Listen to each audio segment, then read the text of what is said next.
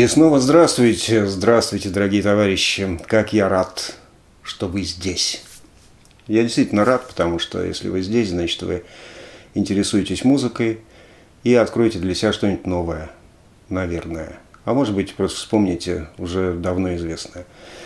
Я вас благодарю за то, что пишете комментарии, за то, что материально поддерживаете канал. Вообще просто благодарю за то, что вы любите музыку так же, как я, наверное, надеюсь, что.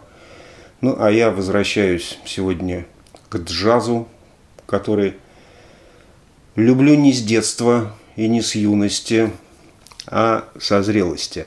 Ну, на самом деле, сомнение в том, что рок-музыка – это единственное возможное и достойное для слушания а, дело, вид искусства, музыкальный жанр, заронил в меня мой одноклассник, который учился в музыкальном училище, уже как-то раз зашел ко мне, в музыкальной школе точнее, зашел ко мне домой, я ему поставил музыку группы Deep Purple, которую обожал, когда учился в школе. Он послушал, говорит, ну что, ну что, да, ну да, параллельные квинты, это все, да, это все как бы понятно, и вся ваша рок-музыка. И ушел.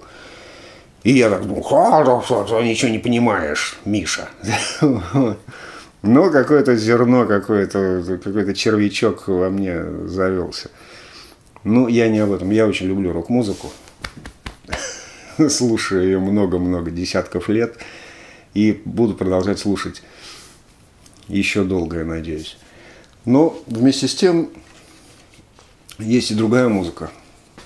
Не менее интересная, может быть, и более интересная даже. Например, джаз, да. вот, я уже что-то там показывал из джазовых пластинок. А сейчас хочу показать пластинку, которая называется «My name is Albert Эйлер», Эйлер, точнее. Это первый альбом Альберта Эйлера, который был записан в Копенгагене в 1960, если мне память изменяет, конечно, в 1963 году, 14 а, января, за один день как нормальные джазмены записывают альбомы. Ну а как иначе можно? Собрались в студии и сыграли. Это джаз. Это вам не, не там вот это вот 28 наложений и потом полтора года редактуры. Хотя Майлз Дэвис э, нет, он не делал наложений, да, он просто редактировал э, некоторые свои альбомы очень серьезно, очень плотно из кусочков собирал произведения.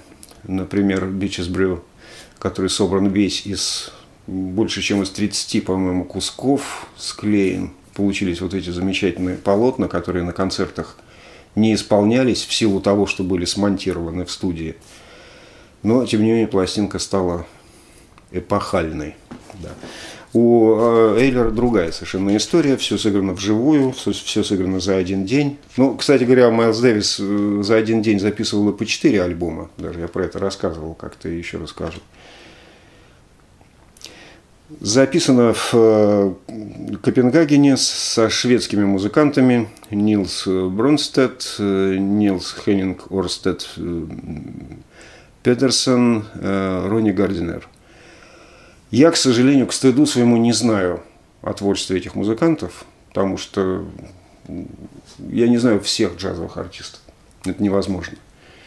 Вот этих господ я не знаю, но я к этому вернусь, потому что вот эта коллаборация Эйлера с, со шведскими музыкантами очень интересная. Здесь как раз здесь есть определенная фишка в этом. Ну, кто такой э, Альберт Эйлер? Те, кто любит джаз, конечно, знают кто это такой. Те, кто не любит джаз, им и знать не обязательно, наверное. Ну, в любом случае, это одна из ключевых фигур джаза с приставкой «фри».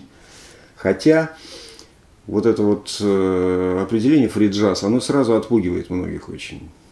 И напрасно, потому что в направлении фри-джаз очень много хорошей музыки. Очень много хорошей музыки. И пластинки, которые выходят и выходили с записями фриджаза, они все интересны, потому что музыкантов, играющих как бы фриджаз, их невероятное количество.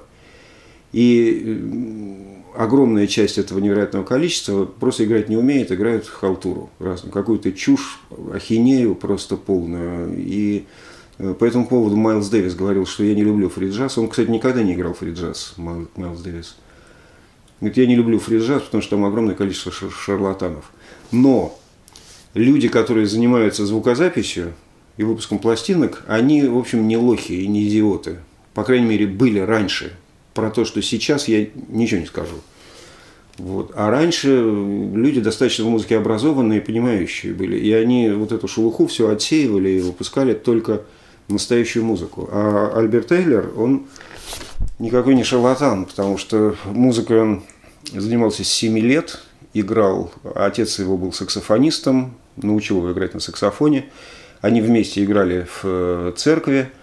Потом Эйлер играл уже по клубам с разными э, командами и играл джазовые стандарты, играл бибоп, и его называли даже маленьким, маленькой птичкой, Little Bird – то есть маленьким Чарли Паркером, если вы помните. Ну, все, все наши любители джаза знают, а не любители джаза пусть узнают, что Чарли Паркера назвали птицей, да, Bird. А Эйлер назвали маленькой птичкой, потому что как такой же крутой, как Чарли Паркер, только маленький. Он учился в консерватории, все у него с образованием в порядке. Пошел в армию и играл в армейском оркестре – играл стандарты, марши, все как надо, все, все путем было, парни. Играл хорошо. Но когда заканчивались э, вот эти вот занятия с оркестром, он играл один, садился где-нибудь на приступочке, играл один на саксофоне, и все разбегались в разные стороны, потому что все, всем казалось, что это какая-то полная ахинея, полные ужасные звуки невероятные, чудовищные, и слушать это невозможно. Но не били его, держали за своего, потому что в оркестре он играл очень хорошо. После армии он э, работал, или до армии, я не помню. А, нет, до армии он еще работал с Литл Уолтером, блюзовым, блюзман, блюзовым блюзманом.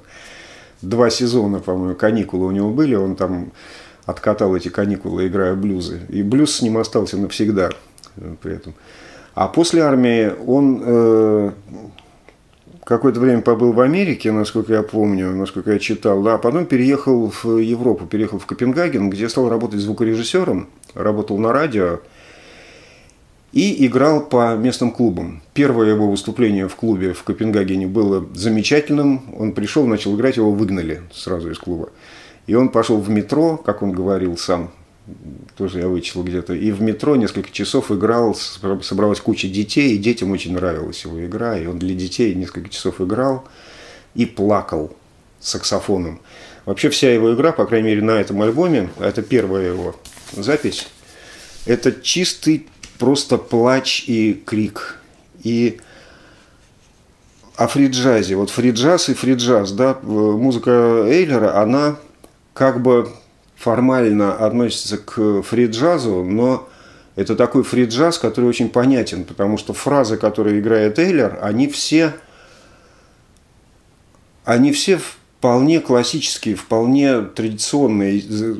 Конечно, он улетает, он выходит из тональности, он играет там тональные какие-то вещи, выходит из аккорда аккомпанирующей группы. Но, в принципе, вся его вот эта вот большая поэма в каждой песне, она состоит из таких, то есть он, он играет фразу такую доступ, общедоступную, легкую, потом из нее выходит, импровизирует, потом опять возвращается, играет, и в целом получается такая вещь, что как бы это фри-джаз, но он как-то как вот и, и, и понятный. Ну, он вдохновлялся очень музыкой Джона Колтрейна с юности. Слушал его музыку и боготворил его, потом случилось так, что Джон Колтрейн с ним познакомился и э, всячески его поддерживал уже во второй половине жизни Эйлера, а прожил он недолго, прожил он всего 34 года, в 70-м году умер, к сожалению, большому. Но Колтрейн его держал за своего, что называется, и всячески ему помогал по мере сил.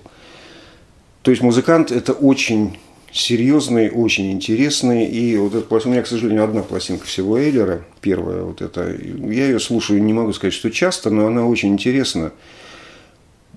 Здесь это запись, которую он сделал в Копенгагене для э, радио, для местного. и она состоит из стандартов, за исключением последней вещи «Сети», 12,5 минут, это э, пьеса Эйлера. А остальные все «Bye Bye Blackbird», «Биллис Бонс», пьеса Паркера «Summertime» Гершвина, естественно, куда же без нее, и «On Green Dolphin Street».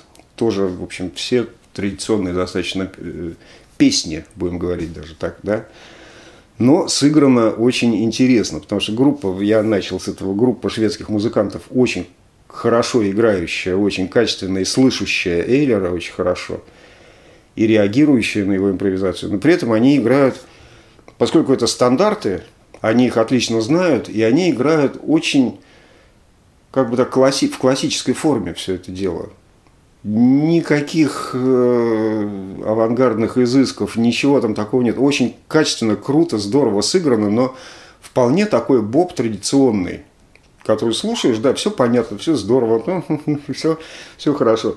А сверху неистовствует Альберт Тейлор на своем саксофоне и рыдает, кричит, стонет, поет, в общем, по-всякому это дело. Но при этом он же играет стандарты, и мелодию он э, держит классическую основную. Основную тему он ведет, но из этой темы он кувыркается с ней как угодно. Ну, и все время рыдает. Саксофон его плачет все время, потому что понимание того, что его не понимают, оно, конечно, Эллера мучило всю его жизнь. Он-то искренне играл то, что у него в душе, то, что у него в, сердце, то, что у него в пальцах.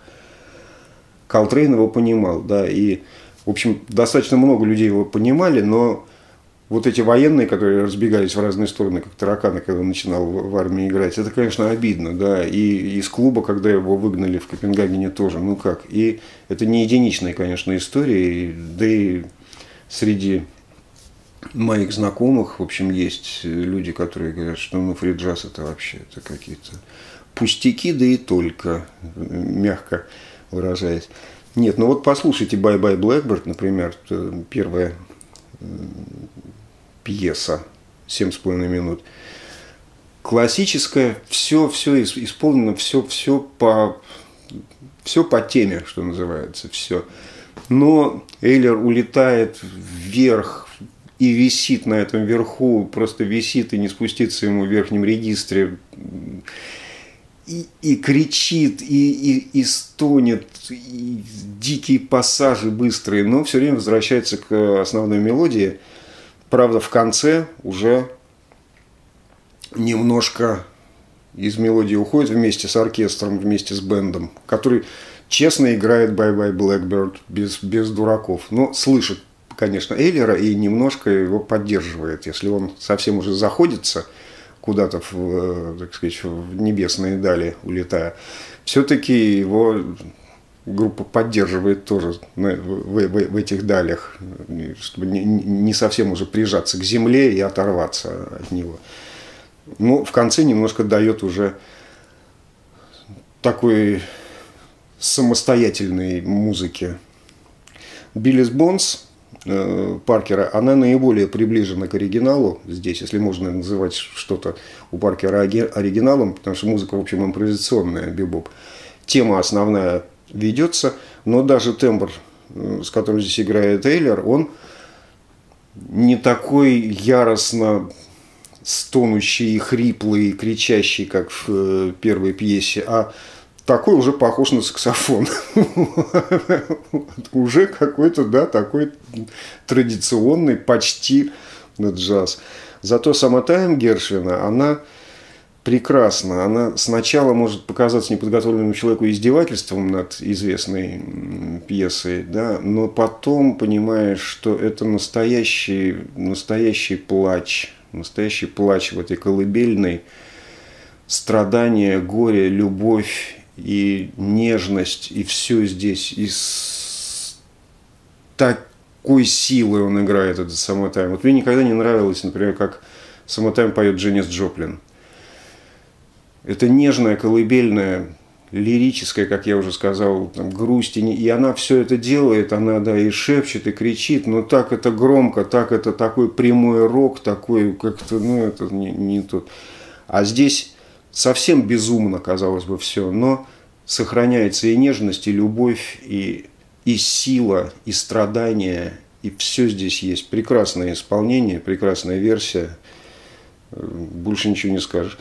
Он Dolphin Street просто полеты скоростные и с минимумом фри, я бы сказал здесь, с минимумом. То есть настолько качественный бибоп, конечно, уже пропущенный через сознание Эйлера, но тем не менее все в, все в традиции. В хорошей традиции с, с минимумом, но фри, тем не, тем, тем не менее. А сети эйлеровская – это уже его творчество, это его импровизация вместе с группой, и группа уже уходит от традиции и играет так, как нужно играть пьесы Эйлера. То есть свободно реагируя на его остановки, на его подъемы, его падения, его паузы. Все поддержано, все очень точно и очень здорово. My name is Альберт Эйлер, 1963 год. Я пошел пить. Пока.